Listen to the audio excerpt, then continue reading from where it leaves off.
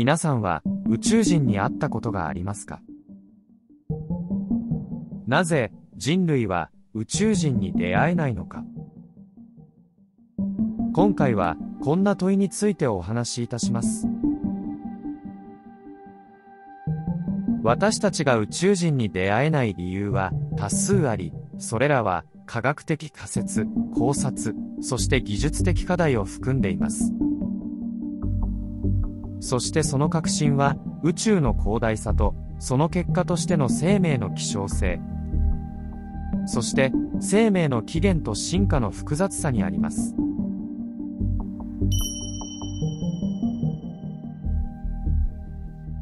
まず想像を超える宇宙の広大さについて考えてみましょう。近所の公園を散歩するときあるいは自転車で街を回るときどれだけの距離を移動するでしょうか？散歩程度なら数キロメートルかもしれません。それを想像した上で考えてみてください。私たちが住むこの地球は直径約1万 2742km もあります。さらにそれを超えて太陽系を考えてみましょう。地球から太陽までの距離はおおよそ1億5000万 km です。これを光の速度で移動すると約8分半かかります。光が1秒間に約30万 km も進むのにそれでも8分半もかかります。しかし宇宙の大きさはこれをはるかに超えています。最も近い他の恒星プロキシマ・ケンタウリまでの距離は約4.24光年。つまり光が1年間に進む距離を4.24回。続けた距離です。そしてこれは私たちの銀河系内の極めて近くにある恒星までの距離です。私たちの銀河系は直径約10万光年。そしておおよそ2000億から4000億の星々が輝いています。これらすべてが惑星を持つ可能性があります。そしてこれがたった一つの銀河系で観測可能な宇宙にはこのような銀河系が約2000億個もあると推定されています。ここで生命の希少性について考えてみましょう。この宇宙の広大さを考えると生命が存在する気がしてきます。しかしここで大切なのは生命が発生し繁栄するためには特定の条件が必要だということです。例えば地球のような惑星は液体の水が存在し適切な気候大気科学的な成分があります。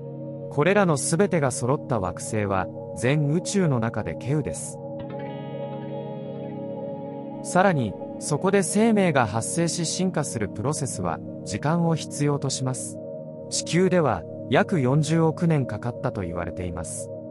さらに知的生命体に進化するとはさらに一層困難なプロセスです。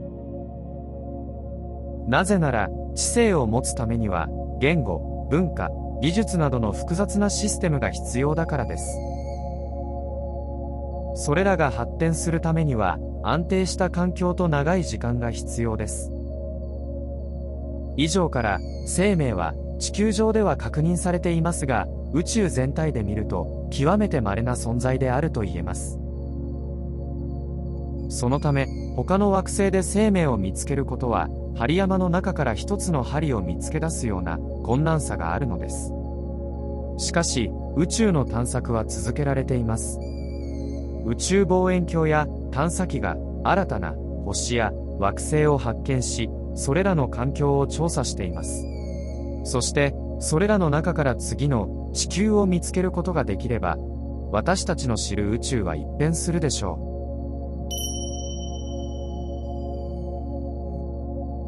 球が形成されたのは約46億年前です。その頃の地球は現在の穏やかで生命が繁栄する地球とは大きく異なり火山活動や隕石の衝突など激しい活動が続いていました。この厳しい環境で生命がどのように誕生したのかは科学者たちが研究し続けている大きな謎の一つです。最初の生命は約40億年前海洋に存在したと考えられていますその頃の海洋は原子スープと呼ばれ、様々な化学物質が溶け込んでいました。ここで何らかのエネルギー源、例えば雷や紫外線が化学物質に作用し、生命の基本的な構成要素であるアミノ酸が形成されたと考えられています。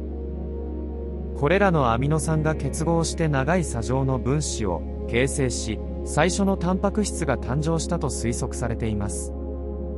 そして、これらのタンパク質が集まり、最初の細胞が形成されました。さらに、遺伝情報を保存し、複製する能力を持つ RNA や DNA もこの頃に形成されたと考えられています。最初の生物が誕生してから約20億年後の約18億年前に細胞内にオルガネラを持つ真核細胞が出現しました。これは生命の大きな進化の一つで、これにより複雑な生命体が生まれる土台が整いました。さらに進化が進むと、約6億年前には最初の多細胞生物が出現し、これにより植物、動物、菌類など私たちが現在見ている生命の多様性が広がり始めました。その後、生命は海から陸へ、そして空へと広がっていきました。恐竜の時代を経て、哺乳類が繁栄し、そして最終的には知的生命体である私たち人類が誕生しました。生命の起源と進化は、まさに壮大な物語であり、まだ解明されていないことも多いです。それぞれの進化のステップは、何十億年という時間を必要としました。そして、この進化の過程は、今もなお進行中です。そのため、私たち人類が宇宙を探索し、他の惑星に生命が存在するかを探るとき、私たちが探しているのは、自身の起源と進化の物語でもあるのです。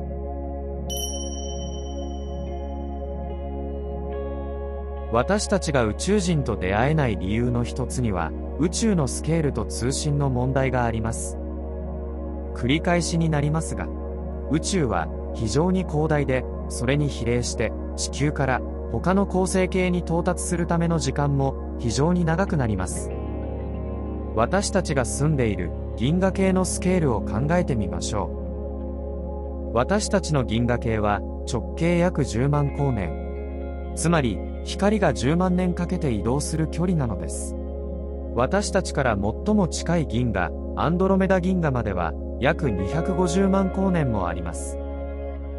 そして、これらすべてが、ほんの一部で、観測可能な宇宙全体は、約930億光年の直径を持つと推定されています。この広大な宇宙には、約2000億個の銀河が存在し、それぞれに数十億から数千億もの星があるとされています。この宇宙の広大さを考えると、通信の問題が浮かび上がってきます。私たちが他の星系、他の銀河からの生命とコミュニケーションを取るためには、まず信号を送信し、受信する必要があります。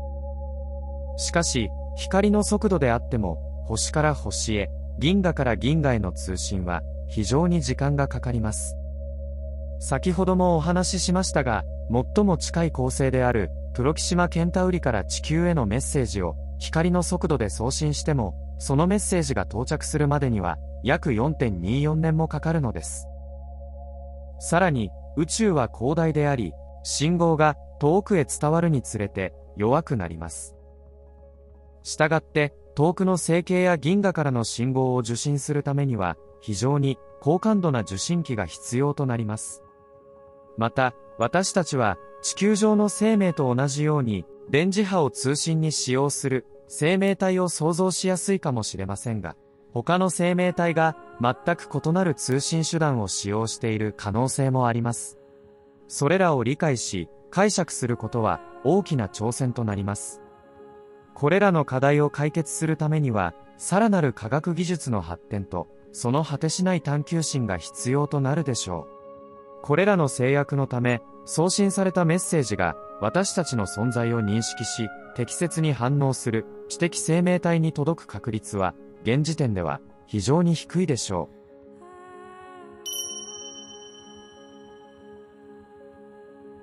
これらの問題を含め、私たちがまだ宇宙人に出会っていない理由を説明するための多くの理論や仮説が存在します。皆さんは、フェルミのパラドックスと呼ばれる論争をご存知でしょうか？これは、1940年代に物理学者エンリコ・フェルミが提唱した問題で、宇宙には数えきれないほどの星が存在し、その中には生命に適した環境を持つ惑星がたくさんあるはずなのになぜ宇宙人に出会わないのかという問いです。私たちの銀河系だけでも1000億から4000億の星が存在していると言われています。